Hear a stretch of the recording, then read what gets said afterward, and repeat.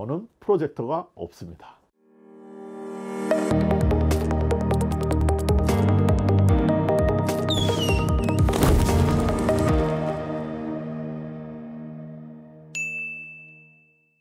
안녕하세요. 당근조 실험실의 조재만입니다. 오늘은 프로젝터에 대한 얘기를 해보려고 나왔습니다. 프로젝터를 고르길 원하시는 분들이 꽤 있는 것 같아요. 프로젝트를 가지고 프로젝터를 가지고 뭐 영화도 보고 TV도 보고 그런 용도로 프로젝터를 생각하시는 분들이 많은데 프로젝터를 선택하는데 조금 힘들어 하시는 분들이 계셔서 거기에 대한 얘기를 좀 해볼까 합니다. 음, 프로젝터를 물론 이제 회의실이나 혹은 뭐 강의용이나 이런 특수한 목적으로 쓰는 경우들도 종종 있어요 근데 그런 용도들은 조금 더 여유로운 게 일단 예산이나 이런 게 좀 여유롭고 또 쓰는 목적이 분명하기 때문에 구매하는데 그렇게 어렵지는 않습니다. 돈을 좀 들이면 결과적으로 좋은 게 나오거든요. 그런데 개인적으로 사용하거나 가정용이나 혹은 집에 사용하려고 보면 상당히 부담스러운 가격이다 보니까 좀 더 많은 내용들을 이렇게 좀 찾아보게 되는 것 같아요. 그래서 오늘은 프로젝터를 쓰는데 중요한 요소가 되는 몇 가지에 대해서 한번 얘기를 해보려고 합니다. 프로젝터에 나와 있는 스펙이나 이런 것들을 보면서 나한테 필요한 것들을 찾기 위해서는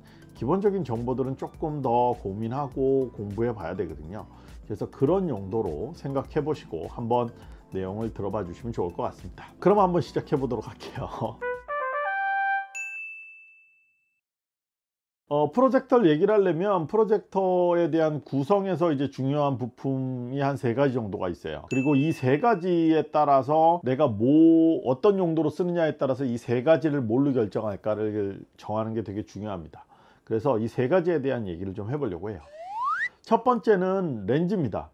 어, 무슨 프로젝터의 렌즈야? 라고 생각하실지 모르겠는데 어, 기본적으로 프로젝터가 작동되는 원리는 뒤에서 빛을 쏴주고요. 중간에 그림자 놀이 하듯이 뭐 LCD가 됐던 DLP가 됐던 어떤 이미지 유닛으로 인해서 이미지를 만들어내고요. 그리고 투과된 그 빛이 이미지 유닛을 투, 통과해서 벽면이나 뭐 다른 곳에 투사될 수 있도록 그렇게 전개가 되게 돼 있어요. 그래서 앞에 렌즈가 들어가게 되고요. 렌즈가 들어갔다는 건 여러분도 아시다시피 포커스도 맞춰줘야 되고요. 뭐 렌즈가 밝네 어둡네 뭐그 다음에 그 줌이 되네 안 되네 뭐 이런 요소들이 있어요. 그래서 렌즈는 바로 이런 역할을 하는 요소입니다. 기본적으로 선택을 하실 때 렌즈를 딱히 뭐 몇 밀리냐 몇 밀리냐 이렇게 나와 있지는 않아요. 대부분 스펙에선 대신에 이 프로젝터와 거리가 얼마일 때 스크린 사이즈가 얼마다 라는 정보는 나옵니다. 그래서 이거는 여러분이 이미지를 얼마나 크게 볼 것인지를 결정할 때 상당히 중요한 지표가 돼요. 그리고 또 하나 최근에는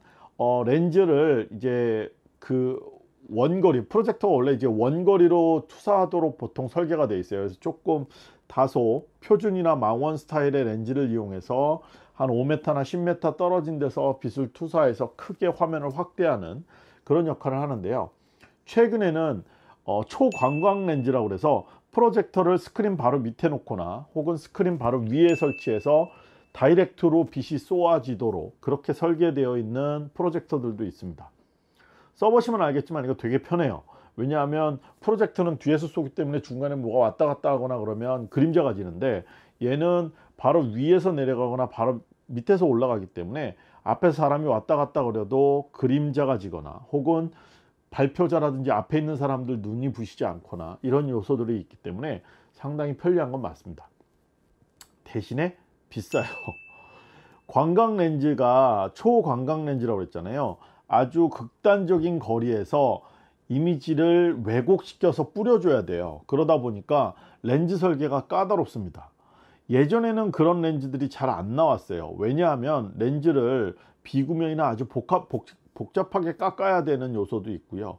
그거에 이제 틸, 이, 뭐, 이제 키스핀이라고 하나 약간 이 왜곡되고 찌그러진 것들을 펴주는 그런 역할을 하는 것들까지 고려해서 설계를 해야 됐거든요. 그런데 초광각이 아니라 일반적인 형태의 프로젝터라면 크게 고민 안 하시고 거리에 따른 사이즈만 고려하시면 될 겁니다. 그리고 또 하나는 이제 아까 세 가지라고 했으니까 두 번째 해당하는 건 이미지 유닛이에요. 근데 이미지 유닛은 조금 이따 다시 한번 설명을 드리고요. 맨 뒤에 있는 램프가 있어요. 램프는 이 프로젝트의 밝기를 결정합니다 그래서 예전에는 할로겐 램프를 많이 사용했어요 뭐 백열등이 됐던 할로겐이 됐던 이런 조명의 특징이 뭐냐면 밝기가 밝아지면 밝아질수록 열이 많이 나고요. 열이 많이 나면 많이 날수록 램프의 수명이 짧습니다.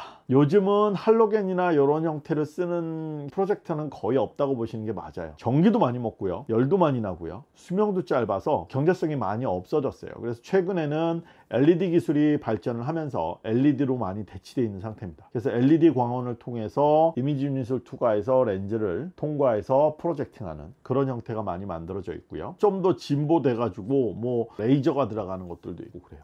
그런데 사용자 입장에서 솔직히 고려해 봐야 될 내용은 일단 지금 현재는 LED 이상의 광원들을 쓰기 때문에 그러니까 램프의 수명에 영향을 주는 요소들이 많이 사라졌어요. 다시 말해서 밝기에 대한 게 이슈이지 이 램프의 수명에 대해서 고려할 정도는 아닙니다. 램프 수명이 상당히 길어졌군요. 그래서 예전에는 프로젝터의 램프 가격이 너무 비싸서 램프가 나가버리면 프로젝터 가격의 한 3, 40%에서 심하게는 5, 60%까지도 되는 비용을 주고 램프를 교환해야 됐는데 이제는 그 정도까지는 아니에요 아니에요. 보통 이제 사셔서 쓰시면 아마 램프를 갈아야 될 일이 거의 없지 않을까. 특히 가정용으로 쓰시면 24시간 켜놓지 않는다면. 그렇기 때문에 수명이나 이런 건 고려 대상이 아니고요. 주의 깊게 보셔야 될 건 밝기에 대한 문제만 좀 고민해 보시면 됩니다. 밝은 게 충분히 밝아야만 이미지가 충분히 어, 잘 재현이 되거든요. 그래서 밝기에 대한 것만 주목하시면 되는데 이 밝기라는 문제가 항상 상대적이에요.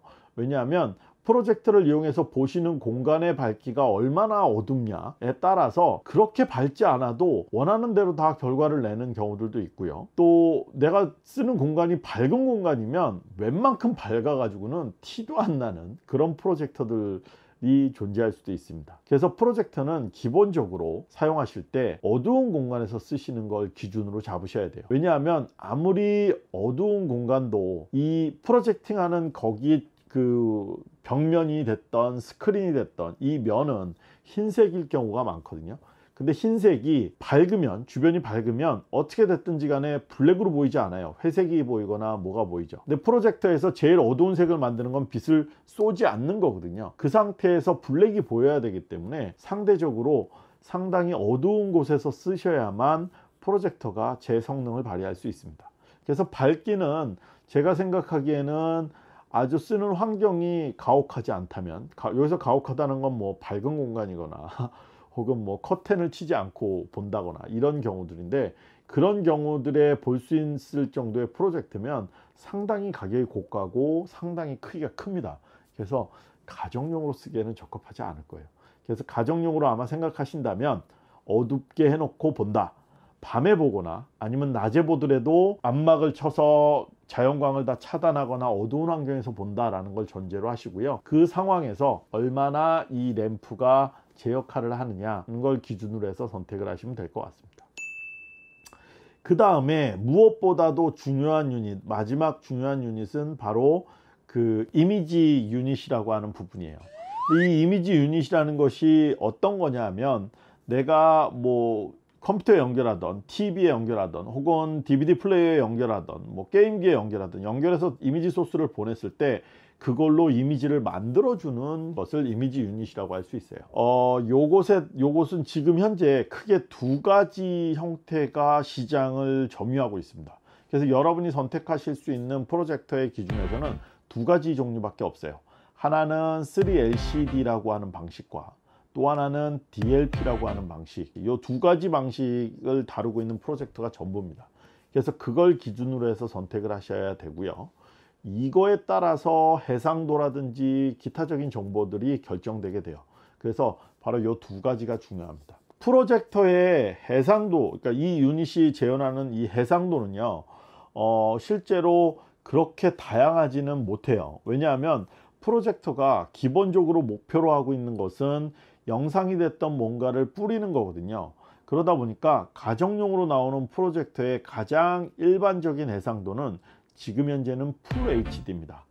왜 full HD냐 하면 요즘 대부분의 영상이 full HD를 기준으로 생산이 돼서 컨텐츠가 있고요 그리고 full HD로 그렇게 만들어 놓으면 실제로 PC 화면이나 혹은 이런 것들을 띄워서 뭐 강의용으로 쓰거나 프레젠테이션용으로 쓴다고 해도 상당히 좋은 해상도가 나오거든요. 그래서 그 해상도를 기준으로 나와 있어요.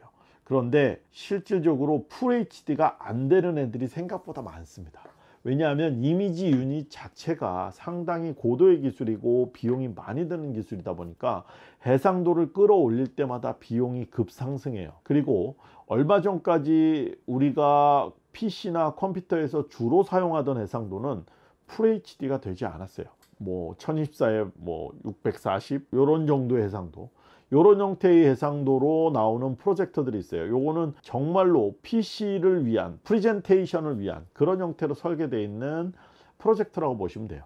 근데 가정용으로 보통 쓰신다 그러면 대부분 영화를 먼저 떠올리실 거예요. 그러면 어쩔 수 없이 우리는 FHD로 가야 되는 수밖에 없습니다. 아, 난 좀 더 좋은 해상도 쓰고 싶은데요. 여전히 4K 프로젝터는 가격이 많이 비쌉니다. 그래서 가정용으로 선택하기에 좋긴 하지만 아마 많은 갈등이 생기는 가격을 제시할 거예요. 그래서 해상도는 그 정도 수준에서 FH 정도를 목표로 해서 설정을 하시면 뭐 영화도 보시고 혹은 뭐 가끔 프레젠테이션 하는 용도로도 쓸 수 있고 여러 가지 면, 면에서 쓸 수 있으니까 한번 그 FHD는 목표로 고민을 해 보시기 바랍니다. 그 다음에 오늘 결과적으로 이 프로젝트에 대한 얘기를 한, 한 이유는 바로 이 부분에 대한 것 때문에 그래요. 이 이미지 유닛에 기본적으로 3LCD 방식과 DLP 방식이라는 이 두 가지 방식인데 이 두 가지 방식이 뭐 이게 좋다 저게 좋다 말들이 많아요.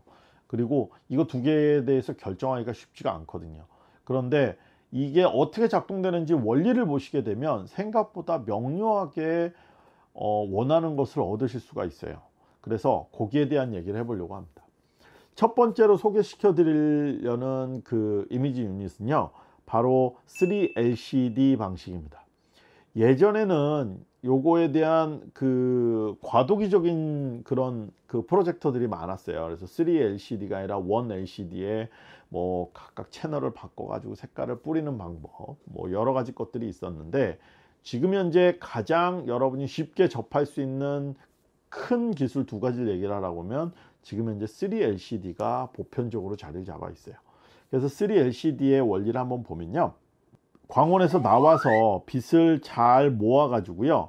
이거를 프리즘을 통해서 하프미러라고 해서 빛을 반만 투과시키는 걸로 빛을 쪼개요. 그래서 red, green, blue 세 가지로 쪼갠 다음에 red, green, blue가 표시되는 LCD 그 판을 만드는 거예요. 그 판을 세 방향으로 만들어서 얘는 red 채널만, 얘는 green 채널만, 얘는 blue 채널만. 그래서 일로 투, 투과시킬 때 얘는 red만, 얘는 뭐 green만, 얘는 blue만 이렇게 빛을 투과시켜서 그거를 하나로 모으는 거예요. 어디다?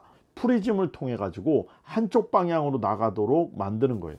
요건 철저하게 과학 기술이에요. 그래서 뭐 half mirror라는 기술도 들어가고요. 프리즘이라는 그 기술도 들어가요. 그래서 뭐 좀 복잡하게 설명하면 뭐 이런 이런 얘기들인데 그걸 다 떠나서 그냥 빛이 나온 거를 세 개의 CCD에 채널별로 red, green, blue 세 가지로 해서 합쳐 가지고 프로젝터로 쏴준다 라고 보시면 돼요. 요게 하나의 방법이에요. 그리고 또 하나의 방법은 뭐냐면 이 방법이 재밌긴 한데요. 조금 어려운 방법이에요. 이 방법이 요거는 지금 현재로서는 Texas Instrument라는 회사에서만 요 칩이 나와요.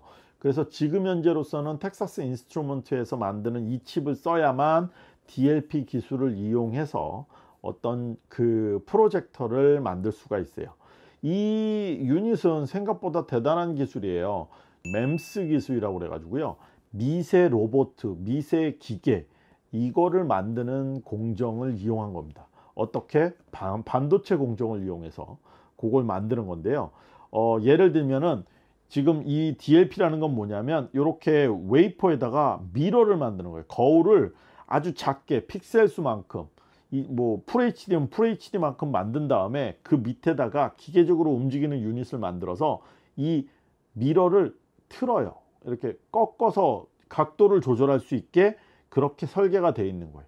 그러면 이걸 이용해서 빛이 들어갔을 때 각도를 틀어버리면 빛이 저쪽으로 빠지니까 그림자가 지고 이렇게 틀면은 내가 원하는 렌즈로 투과되니까 실제적으로 빛의 강약을 조절할 수 있죠.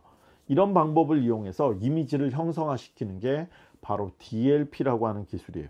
참 어마어마하고 멋있는 기술인 것 같은데 반도체 공정으로 만들다 보니까 진입 장벽이 높아서 그렇지 한번 만들어지고 대량 생산이 일어나기 시작하면 가격은 기하급수적으로 떨어지는 아주 유용한 기술 중의 하나입니다. 그래서 DLP 기술이 가지고 있는 가장 큰 장점은 저렴하다는 거예요. 이 기술 자체가 유닛이 아주 간단해요. 요 칩 하나랑 그 칩에 조명을 하나 넣고요.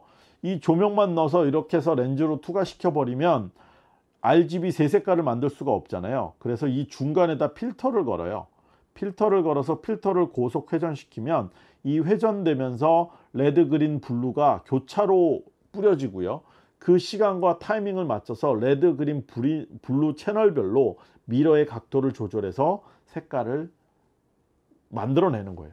그러면 실질적으로 우리는 하나의 이미지처럼 보이지만 이 이미지는 그 짧은 순간 안에 red 한 번, blue 한 번, green 한 번, red 한 번, blue 한 번, green 한 번 이렇게 뿌려주고 있는 거거든요. 그래서 이 방식을 쓰게 되면 사람 눈에 눈이 가지고 있는 잔상의 시간 그래서 뭐한 30분의 1초, 60분의 1초 안에 이 세 가지를 동시에 보여줘 버리면 딱딱딱 순차적으로 보여주면 우리는 이 이미지가 하나의 색깔, 그러니까 색깔이 섞여서 나오는 총 천연색으로 보일 수밖에 없거든요. 그래서 바로 이 원리를 이용한 게 DLP라고 하는 기술이에요. 기술적인 원리는 뭐 이렇게 어렵지 않죠. 요거 딱 이미지 보시니까 좀 쉽게 이해가 되실 거예요. 그런데 이 두 이미지로 놓고 봤을 때 뭐가 좋으냐, 뭐가 나쁘냐, 이게 우리한테 중요한 거거든요. 그런데 솔직히 말씀드리면 이게 좋다, 이게 나쁘다 라고 얘기할 수는 없어요. 3LCD가 먼저 만들어진 기술이긴 해요. DLP는 그 이후에 만들어진 기술이고 3 어, 아주 기초적인 광학의 기본 베이스로 설계가 되어 있으니까 얘가 훨씬 더 옛날 기술인 건 맞습니다. 그런데 장단점이 있어요. 볼게요. 아까 3LCD의 동영상을 한번 생각해 보세요. 거기서 광원은 빛이 세 개로 갈라졌다 다시 합쳐졌죠.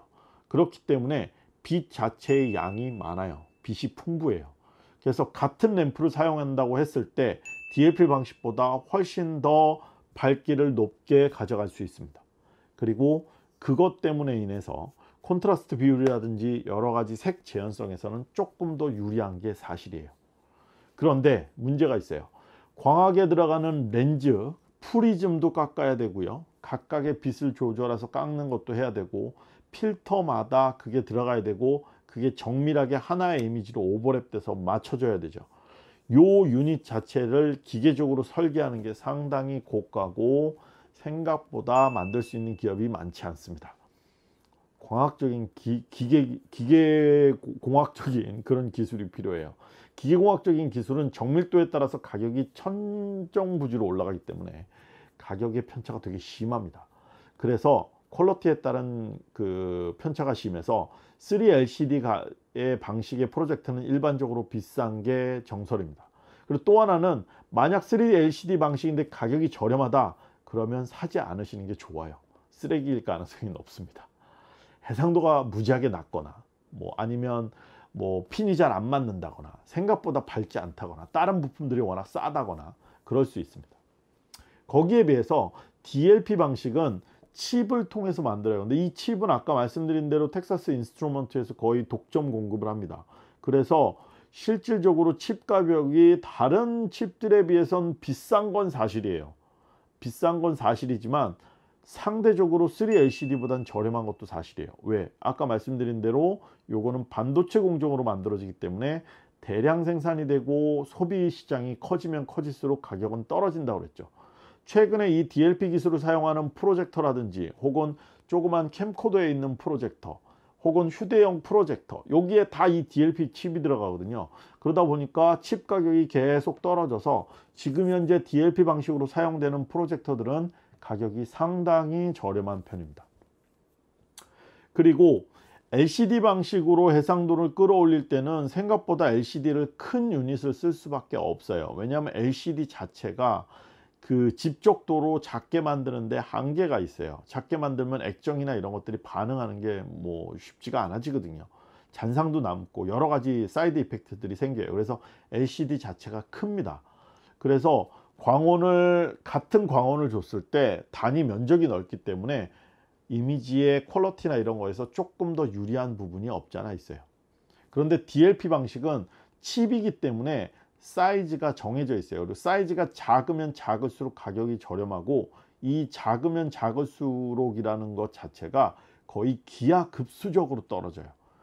그래서 될 수 있으면 작은 유닛을 사용하게 되는데 작은 유닛을 사용하다 보니까 3LCD 방식에 비해서 상대적으로 빛이 뿌려지는 사이즈가 작아요.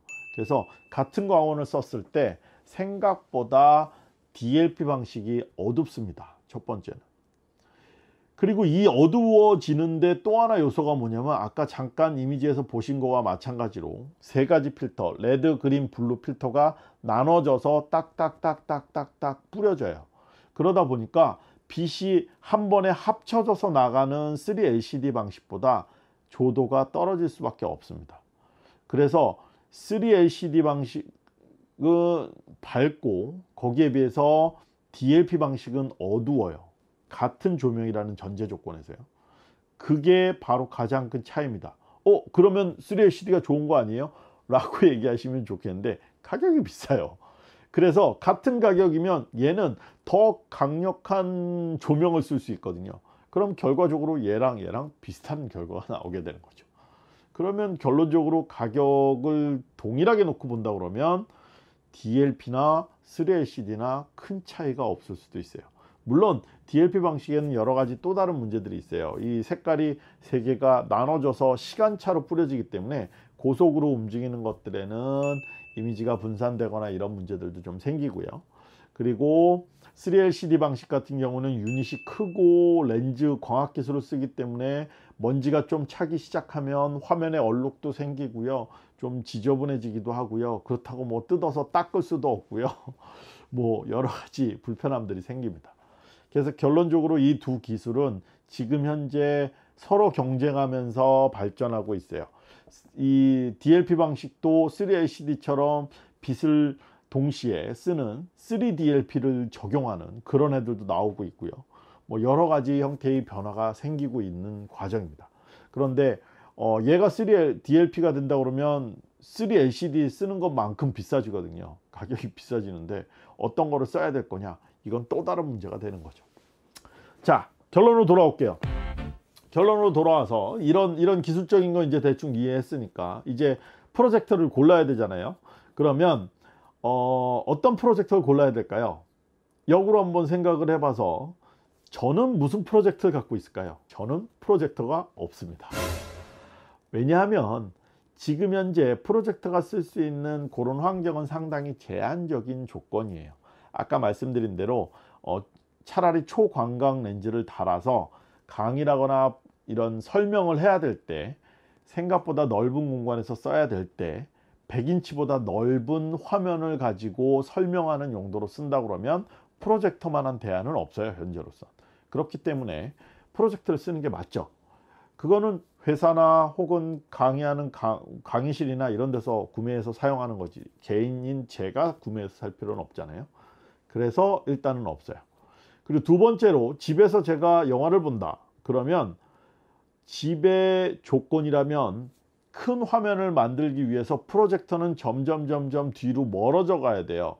그런데 저희 집이 그렇게 크지 않아서 거실 이쪽 끝에다 프로젝터를 설치하고 이쪽 벽에다 투사를 한다고 해도 아마 100인치, 120인치 까지도 힘들 거예요. 100인치 정도가 거의 맥시멈일 텐데 그 정도 사이즈를 얻기 위해서 프로젝터를 쓴다? 낮에는 거의 볼 수도 없고 밤에 좀 봐야 되는데 어 100인치로 본다? 그래도 요즘 도시에서라면 주변광들이 많기 때문에 커튼을 치거나 아주 어둡게 하지 않는 한 그 정도의 느낌을 내긴 힘든데 라고 생각해 보니까 65인치 TV가 생각보다 저렴해요 만약 100인치짜리 프로젝터로 상당히 좋은 퀄러티의 이미지를 만든다 그러면 광량도 좀 세고 좋은 걸 선택해야 되는데 그 정도가 되려면 대략 저렴하게 구매, 하셔도한 150만 원에서 200만 원 정도는 구매를 하셔야 쓸만한 제품이 되실 텐데요.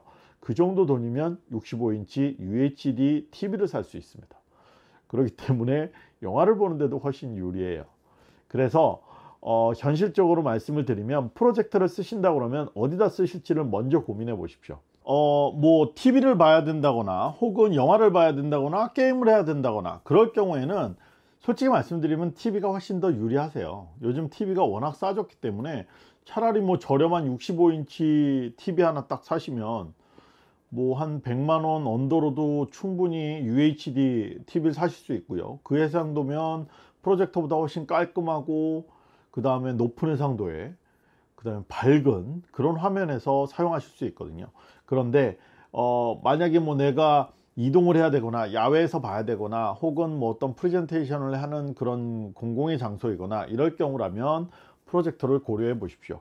대신에 아까 말씀드린 데는 그 기술을 기초로 해서 원하시는 걸 고르시면 아마 어렵지 않게 선택하실 수 있을 겁니다.